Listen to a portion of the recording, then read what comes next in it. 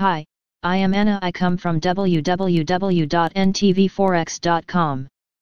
Fed S. Bullard no need to offer further guidance yet. NTVForex.com News ID 2BA3D0 4 minutes ago by Eren Sengezer Markets see rates low for a very long time, there is no need to offer further guidance yet. NBSP St. Louis Federal Reserve President James Bullard told Reuters in an interview on Wednesday. Additional takeaways Wall Street has called virus risks about right NBSP as businesses, households adapt. Full year hit to U.S. growth is perhaps 4%, follow on fiscal package from Congress is expected. Another lockdown is inappropriate, the US NBSP should focus on granular approach based on risks of different activities.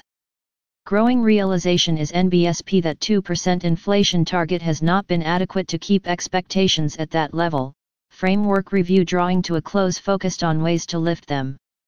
Market reaction The US dollar index showed no immediate reaction to these comments and was last seen gaining 0.44% on the day at 92.72.